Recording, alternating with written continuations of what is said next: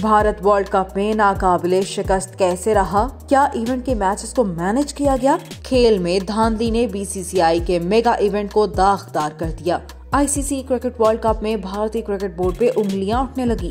भारत और न्यूजीलैंड के दरमियान पहले सेमीफाइनल मैच से पहले पिच फिक्सिंग का तनाजा खड़ा हो गया।